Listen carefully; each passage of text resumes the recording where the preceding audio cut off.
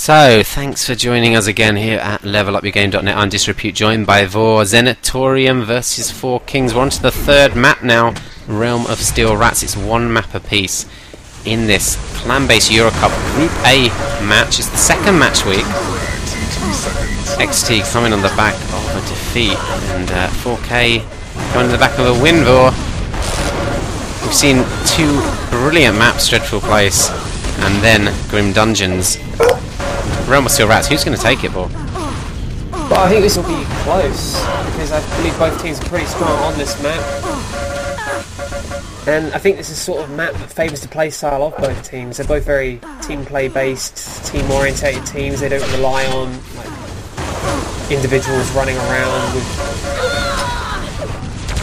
I can sorry, get distracted by a dog barking.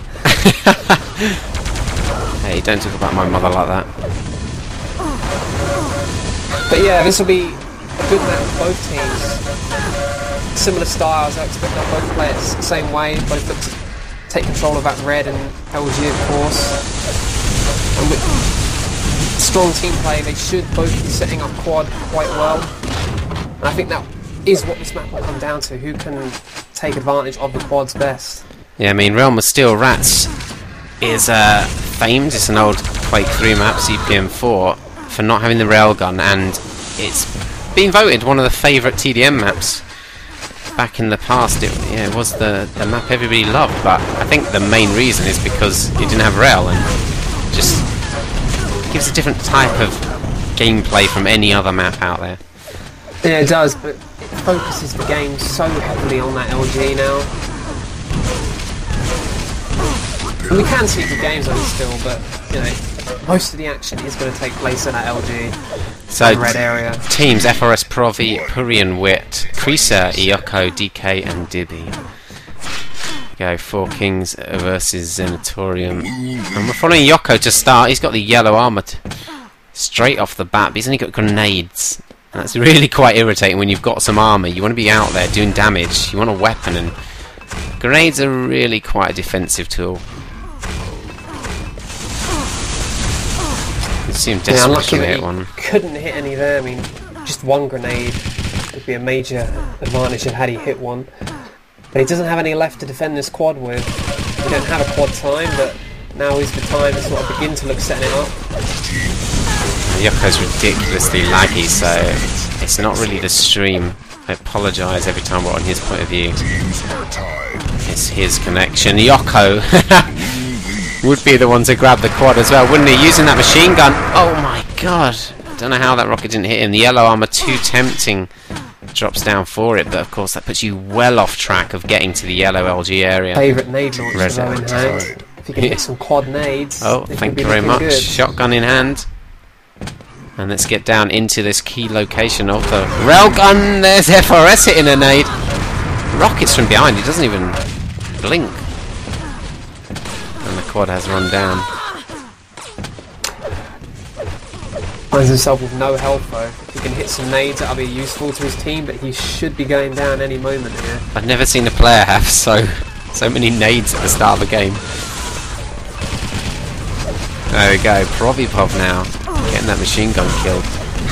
And he did a fair bit of damage there with the rockets. That could put Kings in a bad position if his team can move in. It's probably I'd say once again though that Four Kings have made a strong start to the map. There must be a secret to that, Vor. How does how do they do that against every team? I mean, we've seen them do it It's against teams like Fnatic. I think, knowing exactly what to do from the start, everyone being just totally sure of what they're doing. Of course, there are set locations where, well, the, the spawns are in fixed locations. You don't know where you're going to spawn randomly, but you could easily prepare where you go from every single spawn for the best advantage. And then have a primary location you all want to get to early on at the start of the map. Yeah, it's certainly no coincidence that they always make such a strong start to every map they play. Puri in an excellent position for quad at the moment. Palms off his rocket to a teammate, so XT in a good spot here. But this is the kind of map where you can get a last second The position diver. Provi's in is so important, that plasma spam into that teleporter. As Wick takes the quad, it's almost like a, a he bluffed the movement there, and that was really good play. He's got double LG pickups and lots of ammo to work with. Gets a frag, So look, yellow armor on its spot. rocket in his back. This is good play though. This is turn out perfect at the moment. If he can get into this main area and get some frags, oh my god. Well, he's got bizarre movement, hasn't he? Uh, eventually takes control of the red armor. So there was a good quad run in the end. Didn't get as many frags as perhaps he would have wanted though. Why did he move away there? What? Completely missed out on the red. I mean, Crease just came in and jumped it. Must have not known the time, you can only assume. That was very unusual. Well, I have to say, of course, uh, when these teams are playing, they also are using communication tools like Ventrilo, like TeamSpeak, like Mumble. And sometimes you end up listening to your team and what they are saying rather than focusing fully on the game. You move to areas based on calls that might be inaccurate, and sometimes it can look like on stream things really don't make sense. Yeah, and of course, if someone has made a bad call and you've left the area, then it, it can be punished for it. Here we go, Puri double yellow. He's got a rocket as well. With 10 ammo, but there's the double crates spawning here, so he's got plenty of rockets to defend this quad coming up in 20 seconds. He's going to go down for this next yellow, is he again? Four seconds to wait. It's a risky move. You know, Four Kings could rush in all of a sudden. Well, he's going to be tanked to the brim for this power up. Of course, he hasn't really got a weapon to take advantage. That's such good rocket play. Yoko in the back. Dibby takes him out with the shaft. And you just see the power of that lightning gun there, Vor. Yeah, I mean, if you catch someone out and they don't immediately start dodging you, which obviously if you catch them out they're not going to, then you've already done so much damage. Back to DK's point of view.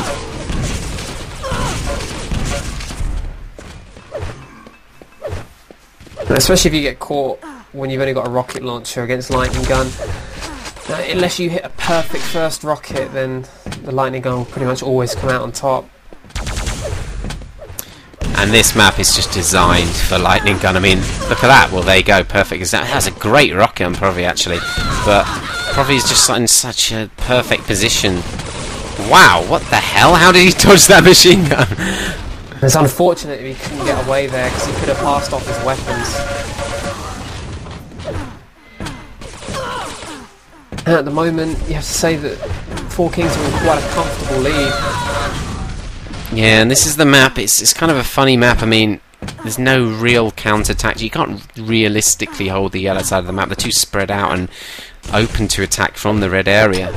And of course, if you're not getting those lightning guns, you'll be at such a disadvantage on weapons that you know, even if your whole team was stacked on those yellows, they'd have a very hard time holding off a team with four lightning guns. So it means this uh, map's rather one-dimensional. It does mean you just have to attack that lightning gun area. Of course, there's different ways of doing that, but uh, if you haven't worked those different ways out and you only have your one solution and that's failing, then you're in big trouble, aren't you? Anyway, five seconds until You the can see that they have slowed the game down and they'll be looking to defend this quad, but I don't think they're going to find it very easily. Wow, great nades from Creaser. Love watching Creaser so much. Such an intelligent player. DK, what a move in on that quad. That was so good from Forking. That was basically a save. A quad save, that. They, they turned up late to get position on it. XT had been setting up for a while and... Well, if you're the XT players now, you are fuming. You are so enraged by that. There's a big problem because they committed they committed to not attacking the red and the LG, to look to sit back at the yellows and defend the quad and maybe bring themselves back into the game with a good quad run, but that did not happen. Good attack from Four Kings and that's wasted the last two minutes for Zenitorium basically. Puri going down to a heavy shotgun blast from Dibby there. We follow it up on Puri again. No. To follow Puri just cruising these uh, low corridors and back up to quad. Provi in front of him. Are they're going to attack in high on the red?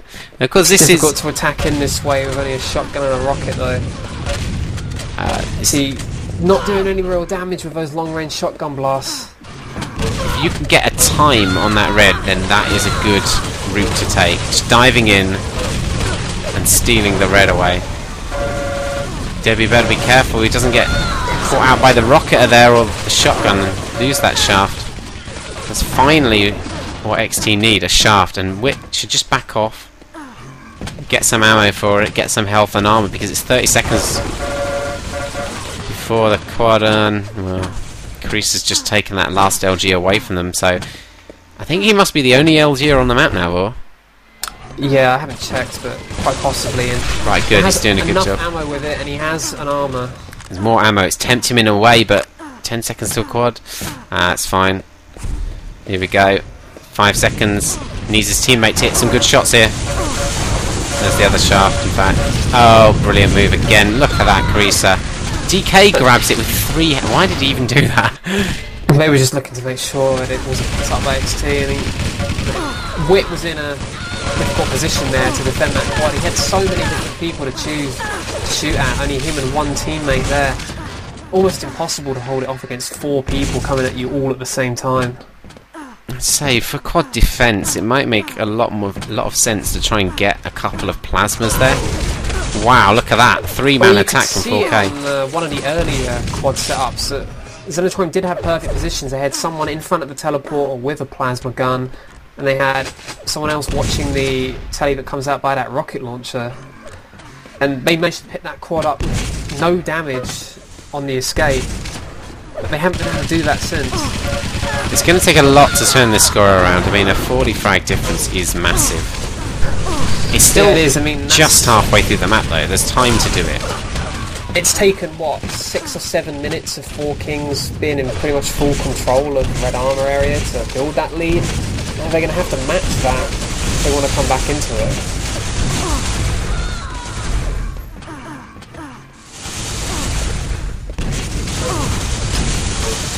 Good rockets and probably before he goes down to the spam plasma of DK. Well, I say spam, it's not really spam, is it? Suppressing fire. 25 seconds till this quad and DK already there. His teammates you can see uh, well over the LG. I mean, well, DK's just completely gone away from. Oh, look at that. Very aggressive attack. 10 seconds till the red though. Pru's going to wait for it. It's going to be very He's- close to the quad time. Going to be difficult to get into quad. He'll have time, but he'll have to take such a direct route that if they have the slightest bit of damage on him, it will force him to back away. Oh, brilliant jump there. Didn't matter in the end. Creaser takes it. If Creaser can survive, I mean, such an advantage here. The yellow armor's up as well. He could do with He'll a shotgun or shaft. The health, or the health in this position's not up for him. There, there's the health just through that doorway. He's gone all the way back. Interesting. He's not going to use the quad then. No, he will. seconds, That's yeah. fine. That's not too bad actually. Smart. His team hasn't moved in and died, so they should be able to support him. Brilliant movement there as well from. I love the strafe jump in. Very you can smooth. see that just the presence of the quad, and XT backed off without even seeing the quad. Oh, a failed jump from Provi there. Could have caused him his death, but saved by FRS.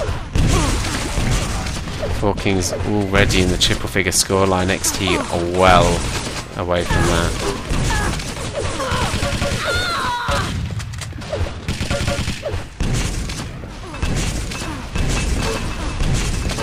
Oh, great rockets from FRS, but fails to jump. Oh, God. It's just not going Xenotorium's way, unfortunately. There you go, the shaft up for Wit. He had no idea when the shaft was up. And he's dropped it. And this is the thing you can't do. If you pick up the lightning gun, you can't drop it because that happens. Gets a frag, did a lot of damage. Oh, Although he did drop it himself, so...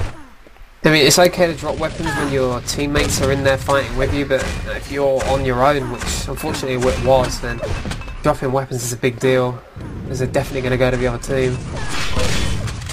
Probably taking that red. We've got 15 seconds till the squad. He's got a shaft as well. This could be comeback time maybe for...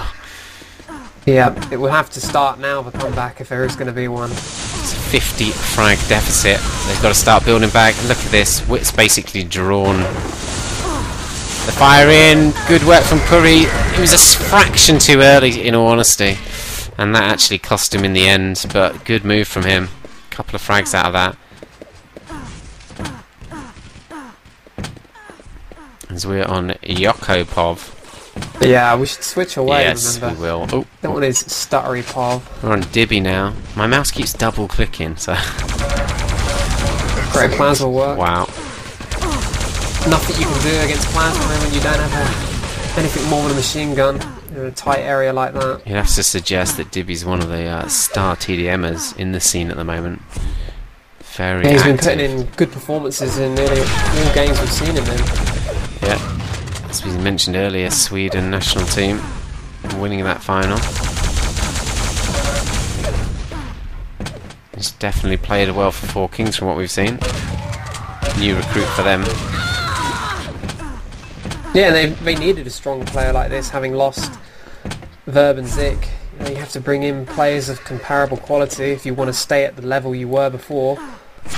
I think they should have done an Arsenal and had a, a youth team for the next five years. Might not go down too well with their fans. There you go, Dibby perfect timing in for the LG as well. He's going to get a couple of frags out of this. Looks very, uh, very controlled in this map. Really does look like he knows what he's doing. Oh, and he's going to get some more ammo for it there. Thank you very much. Misses out on this yellow. That's really, really irritating when that kind of thing happens. He's going to go down as well. Just No, unlucky there. I mean, he killed probably twice. killed him first time, spawns in front of him, kills him again, spawns in front of him. stole his yellow and then killed him. It's, it's like being punished for getting a kill level. Yeah, well, that's the Quake Live spawn system for you. Yeah. There you go, Creaser with the quad. It's just. This is dead time now, in all honesty.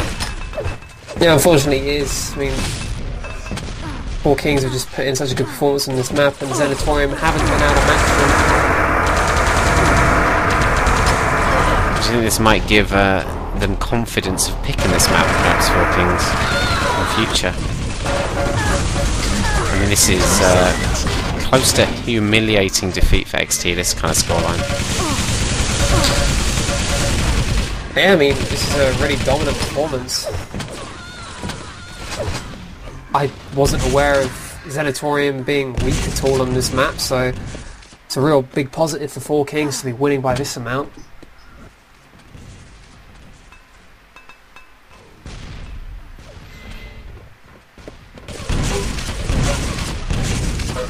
Oh, good frag from DK. So XT, they lost their first match, they now lost their second. Both 2-1 scores, so they're not far off, but no cigar. I mean, they lost to a qualifier. I mean, you could expect perhaps to lose to Four Kings. I think they'd have been quite surprised to have lost their first game against Enemy Unknown. I mean, really, if you look at the you know, the first map on this this match, they barely easily won on Dreadful Place, and for the first what ten minutes or so on DM14, they were by no means out of it. They were close. Definitely. I mean, they- still got a chance. Top three qualify, I believe. Really, this defeat won't change much. Most people expect Four Kings to be one of the top few. Top three. Probably they'll be favourites to top the group. So this kind of loss doesn't matter that much. Especially actually getting a map isn't too bad. But that first week, the loss to enemy, the qualifiers, it suddenly puts them in a very uh, pressured situation going forwards. Yeah, I mean, really, they'll have to pick up probably a couple of 2 0 wins in their next upcoming games to make up for that loss.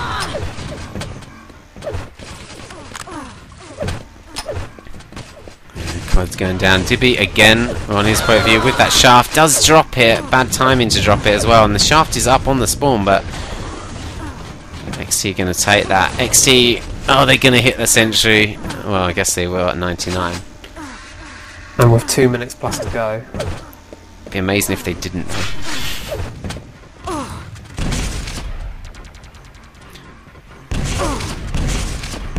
And 70 frags behind Laura. I mean, what do you what do you think it is though? These are two Eurocup standard teams. They've played in EMS last few seasons as well. Their highest level. 70 frags, isn't that just too much? I mean, what's gone wrong here? Is it that there's too many maps to practice?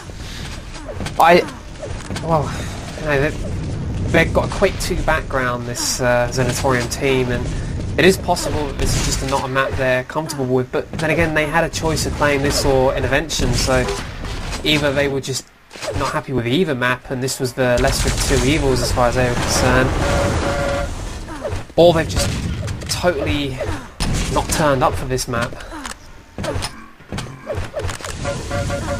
Do you think it should be a five map rule though? Oh, absolutely. I think seven maps is absurd, really. And I also really dislike this, you know, eliminate maps first system. You know, much rather see teams picking their strongest maps and you know, we see quality games rather than you know teams settling for second choice maps. Well, I mean, can you imagine the legacy of a team like Ice Binders if we weren't watching them play DM6 all those years? it gets to the point where you can't really have a best map, and you can never show it to anyone. Yeah, You have to just be good all round, which is definitely uh, a, a good thing. But it was, yeah. I mean, promote teams being strong all round, sure, but it's very hard to be on seven different maps with different styles, and with the uh, I mean the map pools used to be large, but it was pick. Anyway, that rounds it off. 192 to 111, Four Kings take it. Dibby, outstanding score, 63 to 33 deaths. So uh, tune in to TV1 right now, everybody. Right now. Good night.